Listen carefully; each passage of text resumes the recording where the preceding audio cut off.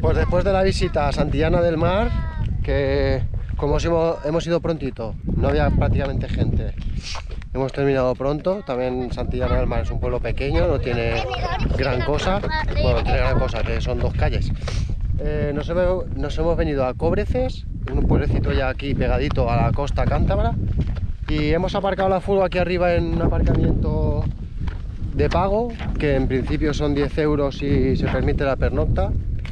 Y... Pero no acampar. Exacto, pero no acampar. Con lo cual pasaremos aquí seguramente la noche, veremos la zona de los acantilados, un molino que hay y ahora vamos directos a la playa. Y la verde es que está muy bien para nadar. No, no, pero llevamos así todo Vale, pues ya estamos aquí abajo en la playa. La verdad es que nada que ver con las playas del Levante, ¿eh? Estamos así entre zonas de acantilados, más o menos. Y hay una zona de, de llanura aquí espectacular. muy grande. donde se han puesto la gente también. Vamos a investigar por aquí.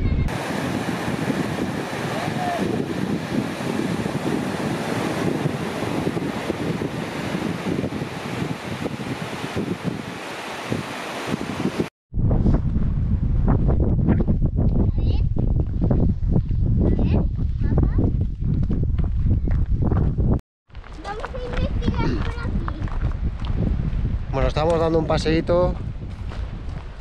Estamos dando un paseíto ya por aquí después de comer al mirador del volado y acantilado del volado también, mismo nombre.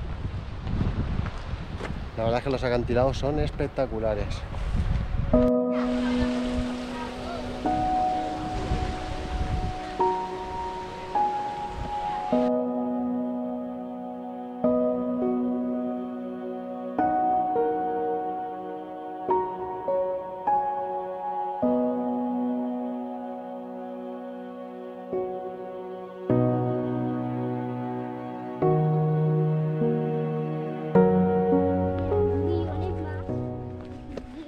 Después de ver el acantilado que hemos bajado bajo, vamos a. Nos ha costado un poquito encontrarlo, pero bueno, hemos descubierto una puertecita, no sé si la veis allá al final, al lado del antiguo molino, y sale una senda que llega ahí delante de una casita y ya luego otra senda que sube hacia arriba del todo.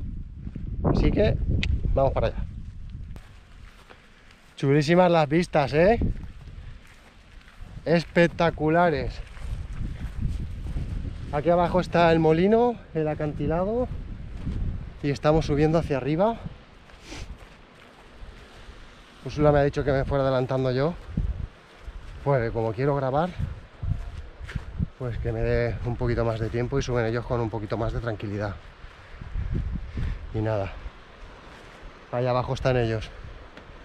Y el camino para subir hasta aquí, que la verdad es que no se ve del todo claro, al final googleando ahí en el Maps un poquito y mirando, pues se ve que justo ahí entre medio de las ruinas del castillo sale un sendero que llega hasta aquella casa y de aquella, aquella casa bordeando hacia aquí.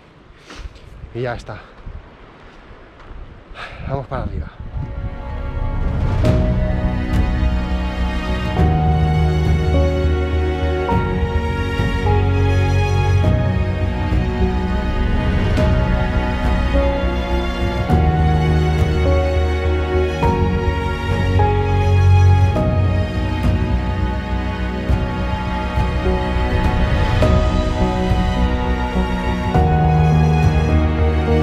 Bueno, ¿qué decís de las vistas? ¿Os han gustado o qué?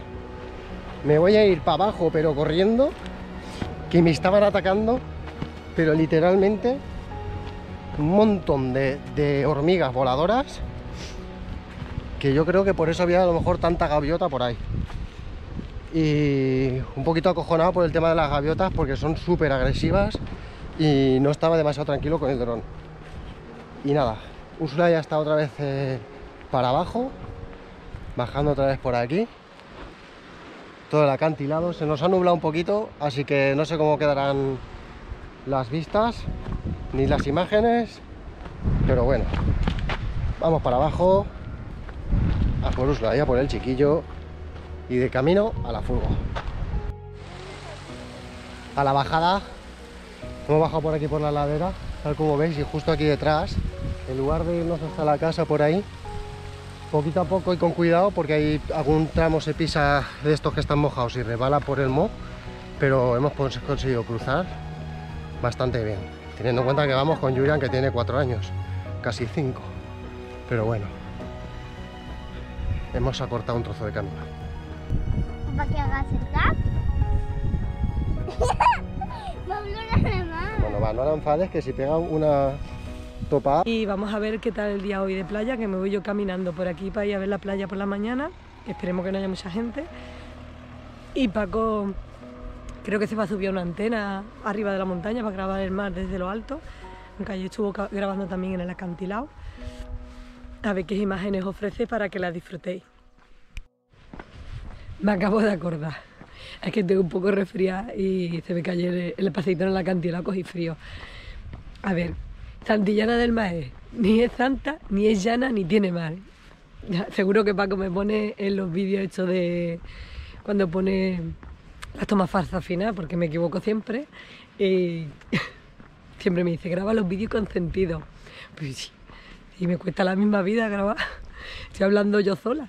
Bueno, chicos, el aparcamiento del hotel, que ayer estaba lleno, ¿vale? Pero lleno a rebosar, la playa allí del final.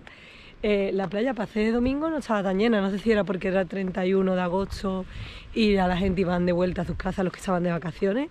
Y todo lo que ves aquí alrededor son chalés y no se ve masificado como en la costa cuando hay edificios altos de mucha gente viviendo. Y el parking hoy vacío. A mí es verdad que hoy es lunes. Así que veremos cómo está la playa. Luego aquí hay una escuela de surf, aquí atrás, que supongo que habrá, que habrá mucha gente que venga por el tema del surf. Uy, hoy ha crecido el mar. Ayer teníamos un montón, un montón de arena y hoy el agua llega prácticamente a la orilla donde estaba la gente ayer puesta en la arena, que supongo que se verá en el vídeo de Paco.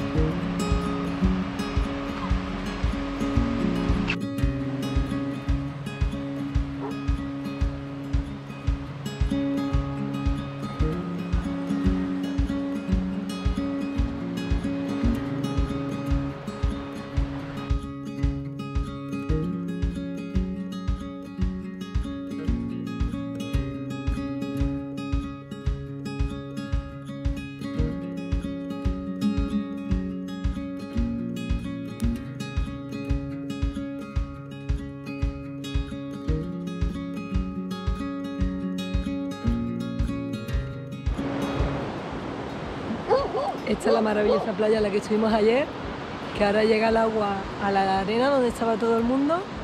Porque está lo de- súper bien. O hemos visto la playa tanto con la mar llena como con la mar bajada y se ve súper bonito. Ahora todo el mundo está paseando, haciendo deporte o paseando los perros. A pesar de ser un día nublado, se disfruta de la playa. Esto es, vamos, da una calma y una tranquilidad, es maravilloso.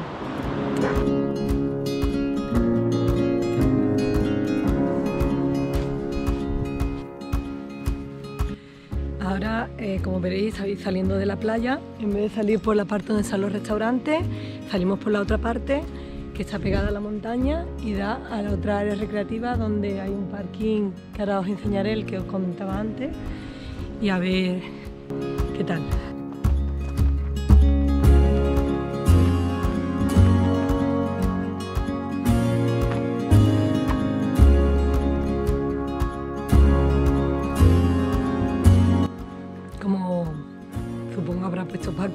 El parque de aquí está más en plena naturaleza, también el terreno es más irregular, pero he visto gente que habían sacado para tender la ropa y todo. Y nada, está justo al lado de la playa también. Ahora he cogido otro sendero que me ha recomendado el chico, que está unos 13 minutos andando, para ver la costa desde otro punto.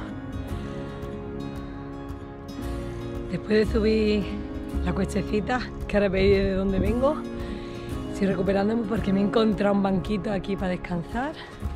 Voy a quitarme la mochila y a recuperarme y eso que no vamos con Yuria, porque voy yo sola cargando, se la ha quedado Paco. En fin, bueno, he venido por esa carretera, pero he subido desde ahí abajo, que es donde está el otro parking.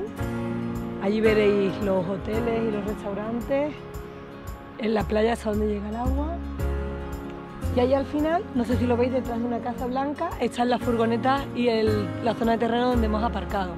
Que prácticamente bajando nada, dos cuestecitas, estáis en la playa. Y el otro parking está detrás de ese árbol. Está muy, bueno, un poco más hacia abajo. Andando es más, en coche no es nada. Y el pueblo está lleno, ¡oh! para que veáis qué vistas más bonitas y merece la pena caminar un ratito. Luego tendré que hacer la vuelta. Sigo andando que todavía me queda más por ver. Como veréis, la carretera en unos tramos es ancha y en otras es estrecho y está bastante irregular el terreno. Yo lo estoy haciendo caminando y por mi instinto me he guiado porque el GPS del Google no me ha guiado hasta... Ha llegado un punto en el que tenía que coger a un lado hacia otro y no me lo ha dicho muy bien. Me he guiado porque había una señal de parking para bajar al parking anterior que os he enseñado y he cogido por ahí por instinto. Y parece que estoy llegando bien al parking de la Canalona. Ahora os lo enseñaré cuando consiga llegar.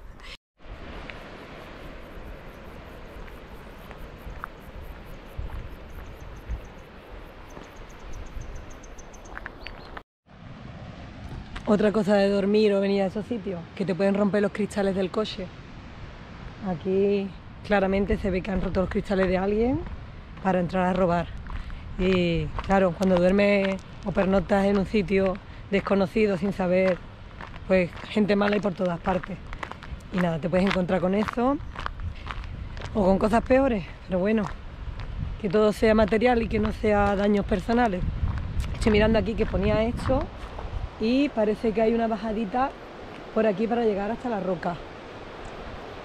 Que ahí ya no me atrevo a bajar porque llevo escarpines, llevo zapatos normales de a caminar y, y voy a volver a subir que tengo que, que pasar toda la ladera otra vez hasta llegar al parking a buscar a Paco y a Yurian, que no sé si habrán terminado su aventura, que creo que subieron pues donde está más o menos aquella antena, que ahora no sé si se verá con el sol, porque nos ha sorprendido el día. Apareció nublado y ahora está soleado.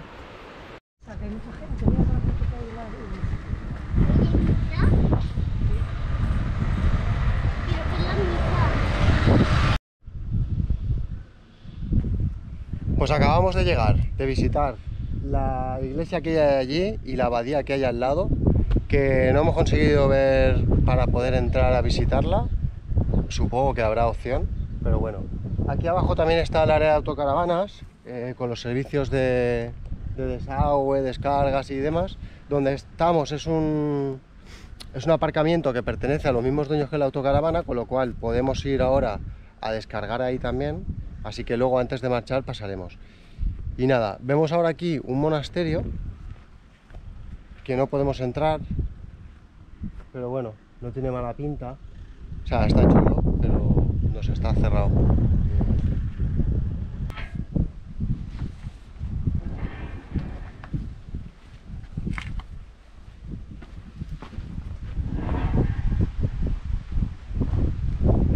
El cementerio parri- Por aquí hay una parroquial. puerta por aquí. Aquí. Pues resulta que al final mon- esto es usado como cementerio y está abierto, así que hemos podido entrar a verlo. Y como veis, pues aquí no hay techo en esta parte. No sé si que se caería en su día o qué, pero bueno. Como veis aquí atrás los nichos.